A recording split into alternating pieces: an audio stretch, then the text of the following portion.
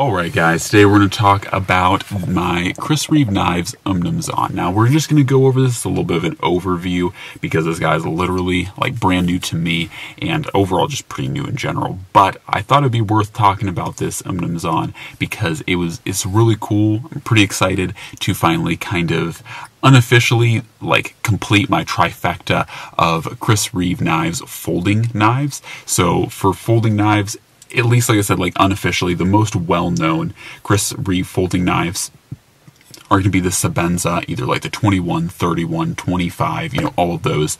Uh, the Sebenza, the Inkosi, which is essentially the 25, but like the new or like its own named uh, knife, and then of course the Umnumzaan. Now, of course, they do have other folders, um, and I cannot remember the names off the top, and I'm, I do not want to butcher them because they're all like. Uh, they're all like uh, South African names, but these guys, the Umnumzaan, the Inkosi, and the Sebenza, are like the most iconic knives that or Chris Reeve makes, especially the Sebenza, but certainly the Umnumzaan and the Inkosi are very well known. So for me, I wanted to get these three folders in because these are like the epitome of Chris Reeve knives. So I'm very happy that I was able to complete my collection, so to speak, or trifecta, if you will. I'll get the other two out here Of course, we have a large micarta inlay Inkosi, and then we have a large micarta inlay Sebenza. And so all three of these guys, if I can hold them up with one hand, are very similar in size. And uh, yeah, overall, they are very cool blades. And so I'm very happy to have all three of them in the house to represent. And uh, yeah, I don't know if there's too much more I can say about it, but they are all very cool. Hopefully I can pull all these guys out at once. But uh, yeah, so that's probably why why I'm most pumped to have the Umnumzaan in the house is so that I can have all three of these guys. But they're all very cool. In this video, though, we will specifically talk about just the Umnumzaan. So I'm gonna put these guys back. We will do another video going over all three of them at a later date. So like I said, this is the Umnumzaan, and I think that this kind of represents for Chris Reeve the ultimate kind of technological leap for their knives. And I'm not going to say that they don't have newer knives because the Sebenza 31 exists and it's a good knife. It has a lot of features that are in the Inkosi, honestly, but the Umnumzaan in and of itself is a very unique knife for Chris Reeve. And I think that this, like I said, really represents their like peak in technology. So why I say this is first off, you have, um, I don't even know quite where to begin, but first off, you have the lock bar stabilizing uh, button here or whatever you'd like to call it. It's not really like a bar, but it does stabilize the lock bar and it keeps that um, lock side from hyperextending and breaking the knife. That is not present on any of their other frame lock folders, so that is something that is kind of like a leap for them in engineering. In addition to that, too, they have an extended or very notable um, lock bar release or area where you can release the lock bar. It's very notable, very easy to access, and that was a, another driving force for the Umnumzaan. In addition to that, too, not only do they have double lugs, which is present on the Inkosi, and a few other models, and of course you can now get the newer Sebenzas with double lug. But the other thing that really made the Umnumzaan popular, and what a few other knife companies have done to try to mimic it, is they made this kind of like a silent opening knife. So they have these little black O-rings. You guys hopefully you can see them, but these black O-rings, when they interface with the knife in the locked position, it's designed to deaden the sound or keep it quiet and kind of cushion the knife as it's coming into its locked position. So this is something that is not present on any of their other knives. As you can see, these are the standard double lugs on a Inkosi, and you'll note Hopefully you guys can hear it. When it closes, it makes a very notable kind of clicking sound that is not present on the Umnumzaan. It's also worth noting too that the Umnumzaan is a slightly different construction.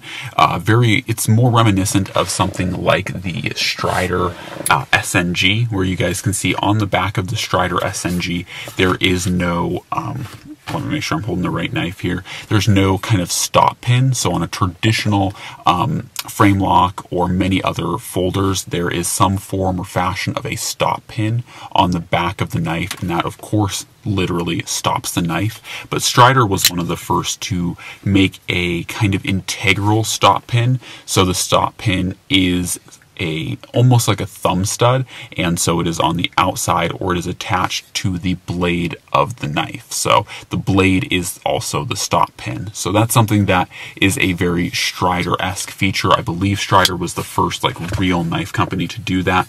Um, a stop pin more traditionally speaking like this Inkosi would be right here as you guys can see and can't really show it super well but you know of course as the knife uh, goes into the opened position, you will see that that stop pin is what creates the stop for the knife so that it doesn't travel any further backwards. So that is essentially like how a traditional knife is made. Once again, the Umnumzaan is made very similar to the uh, Strider, where it does not have a stop pin built into it, but rather those deadened um, thumb studs act as your uh, stop pin, so to speak. So it's very, um, I guess you would say, maybe intelligent, or it's at least one way to cut down on extra parts and pieces because your thumb stud can also be your stop pin. And so that is the thought or the idea for this guy. So that is how the uh, Umnumzaan is designed to work. Lastly, the other features you have, and this one for me is a little bit gimmicky, but they do advertise that you have a glass breaker. Hopefully you guys can see right here. There's a protrusion in the tang of the knife, like the blade stock protrudes here purposefully um, to be a glass breaker or like a pressure point if you were like trying to do non-lethal strikes on someone. You know, you could hit a pressure point on someone with this very small pointed object on the back of of the blade and uh, you know potentially disable them temporarily. So there is that. Once again, I feel like this is a really gimmicky feature. Like the last thing I'm going to think about if I need to like break the window in my car is pulling out my Umnumzaan and you know hitting it, and arguably it's probably not going to work that well. But anyways, so that is the design there. This is a purposeful piece in the Tang. The last thing that is a carryover from the Inkosi is the locking mechanism, and this is a locking, I believe, like the locking mechanism now is the same across the board. Now, when the Umnumzaan was first released, I actually believe when it was very first released, it did not have this mechanism, but now all Chris Reeves, like Sebenza 31, um, the Inkosi, the Umnumzaan, all feature the same lock style or setup, and that is something I've discussed in previous videos, and you can't really see it, but essentially the ceramic ball bearing that acts as the detent for the blade, so when it's in the closed position, it has a detent, like you can't just pull this knife out, um, but that detent ball bearing is the same ball bearing that interfaces with the blade steel. So the blade interfaces uh, as far as the locking or lockup goes, it interfaces with that ceramic ball bearing. So it's no longer that softer titanium interfacing with a hardened piece of steel.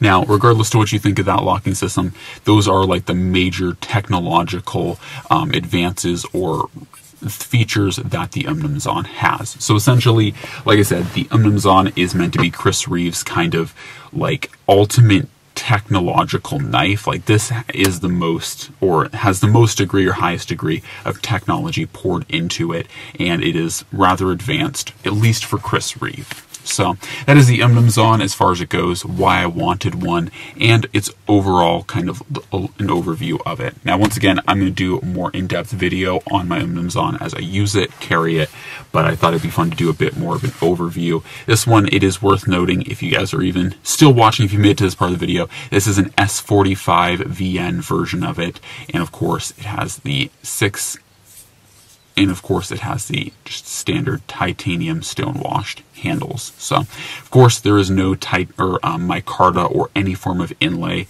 Uh, on these knives. They never were meant to have that. You can get some special variations that have the monkey edge frag pattern and other things, but this is technically the style or design of the Umnumzaan. So it's a minimalist, but very high technologically thinking.